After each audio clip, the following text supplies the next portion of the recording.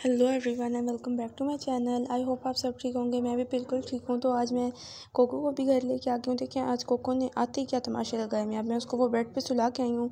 मैं जैसे ही बाहर जा रहा हूँ, अब देखिएगा वो भी मेरे पीछे पीछे बाहर आ जाएगी। मतलब वो इतना डर गई है कि वो अकेले रह ही नहीं रही। मेरे पास सोती है बैठती है। जब भी मैं रूम से बाहर निकलूँ या जहाँ पे भी उसको लेके बैठी हुई हूँ वहाँ से उठूँ तो मेरे पीछे पीछे वो भी उठ जाती है चाहे वो सो ही रही हो। तो बहुत ज़्यादा डर गई है क्योंकि उसको आदत नहीं थी यूँ घर से बाहर निकलने की और अचानक से बाहर निकली और एक दो दिन आ, के लिए थी तो वो वहाँ पे बहुत सारी कैट्स थी तो उनके इर्द गिर्द रह के काफ़ी ज़्यादा डर गई। और बेला को भी मैं ले आई थी वहाँ पे ये अकेली थी तो बहुत ज़्यादा डरी भी थी। तो बस मैं इसको अपने पास ही सुला रही थी बिठा रही थी और धीरे धीरे ठीक हो जाएगी। वो सामने जो पिंजरा है, वो बेला है, उसमें बेला है, लेकिन बेला को पता नहीं क्या हो गया। एक दो दिन में इसको कोको को भूल ही गई है।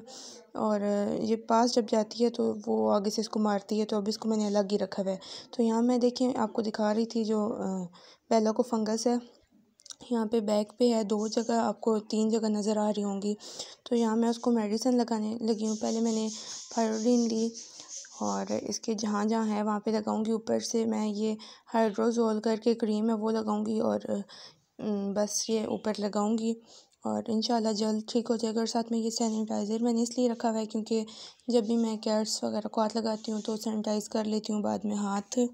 और बेला घर में आ चुकी है, पता चल गया है क्योंकि देखें रूम में आती क्या, उसने गंद बना दिया तो अब मैं यहाँ से क्लीन करूँगी। पूरे रूम में इतनी स्मेल थी, समझ नहीं आ रहा था किस वजह से है। तो जैसे ही मैंने वहाँ से सोफ़ा हटा के देखा तो पीछे इसने पोटी की हुई थी। फिर मैंने वहाँ से जगह साफ़ की और रूम कितना गंदा हुआ हुआ है मैसी हुआ हुआ है तो अब मैं रूम की क्लीनिंग करूँगी। तो इस रूम में मेरे साथ कैट्स होती हैं तो मैं ज़्यादा साफ़ ही नहीं करती, इस वजह से बहुत ज़्यादा गंदा हुआ हुआ है अब मैं सारी चीज़ों को साफ़ कर दिया यहाँ पे देखें, बिल्कुल क्लीन हो गए रूम और यहाँ पे भी कुछ मेडिसिन पड़ी हुई हैं। और ये वही हैं जो मैं लगाती हूँ कैट्स को। जो है अभी मैंने जो पहले क्रीम उठाई है वो मेरे लिए है, क्योंकि मुझे जो रिंग वॉम बन गए बॉडी पे उनके लिए वो मुझे डॉक्टर ने बताई है तो मैं वो लगा रही हूँ। और यहाँ पे सैनिटाइज़र है। और कैट्स की मेडिसिन सारी मैंने एक जगह पे रखी हुई हैं, पर वो जो बाहर पड़ी हुई थी वो इसलिए बाहर हैं क्योंकि वो मैं अभी उनको लगा रही हूँ बार बार लगानी होती है तो इसलिए बाहर हैं। बाकी कैट्स की सारी मेडिसिन और सारी चीज़ें यहाँ पे मैंने अलग से रखी हुई हैं, उनकी जगह बना के तो यहाँ पे वो हैं। तो यहाँ पे मैं आपको दिखा रही थी, ये है सिकर ट्रेन पाउडर तो ये बहुत ज़रूरी होता है जहाँ पे कैट्स हों, उस घर में ये होना बहुत ज़रूरी होता है। अगर कैट एक दूसरे को बाइट कर लेती हैं या फिर वैसे उनको चोट आ जाती है तो ये सिकर ट्रेन पाउडर वहाँ पे लगाएँ तो वो बहुत जल्दी हील हो जाता है वो। तो अब हो गई है शाम और शाम को मुझे बहुत ज़्यादा पसंद है पीना लेमन जूस तो यहाँ पे मैं वो बना रही हूँ फ्रेश लेमन्स अम्मी लेके आई हैं, उनका ये मैंने बनाया है और पीऊँगी। मैं रोज़ शाम को ये बना के पीती हूँ। अगर कोई फ्री ना हो तो ख़ुद बना लेती हूँ, वरना अम्मी बना के देती हैं, मुझे बहुत पसंद है। उसके बाद मैंने ये सवैयाँ बनाई कलरफुल सवैयाँ, मेरा बहुत दिल कर रहा था मीठा खाने का, फिर मैंने वो खाया और जहाँ पे यहाँ पे बेला जो है, पिशी कर रही है, मैं आपको ये रिकॉर्ड इसलिए कर रही हूँ, दिखाऊँगी कि किस तरह कैट्स इतनी समझदार होती हैं, अब उसने वहाँ पे किया है ना तो वो जगह क्लीन कर देगी। आगे जो बेला ने पीछे मैंने आपको दिखाया है पोटी कर दी थी, वो इसलिए की थी क्योंकि मैंने इसकी ट्रे रखी हुई नहीं थी। अगर ट्रे रूम में हो पड़ी हुई तो ये वैसे कहीं भी नहीं करती गन नहीं बनाती।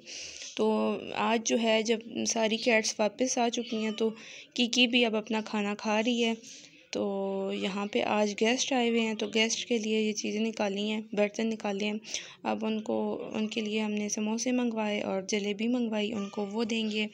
और बस घर का आज बहुत सारा काम है, क्योंकि मेहमान आए हुए हों तो काम बढ़ जाता है। और फिर अम्मी जो है गेस्ट के पास बैठी हुई थी और मैं उनके लिए जूस डाल रही थी और जूस डाल के लेके गई, उनको दिया। गेस्ट शाम को गए और जहाँ पे मैं चिकन कर रही थी बॉयल कैट्स के लिए और नीचे देखें गेस्ट आने की वजह से कितना गंद किचन में बन चुका है और उसके बाद जो एक समोसा बचा था, वो मैंने खाया और वहाँ पे रही बेला मैं आपको दिखा रही हूँ और वहाँ पे ये जो गेस्ट हुआ था, उनका बच्चा था, हर चीज़ को हिला रहा था, छेड़ रहा था और मैं यहाँ पे बैठ के समोसा खा रही थी और अब यहाँ पे देखें शाम हो गई है।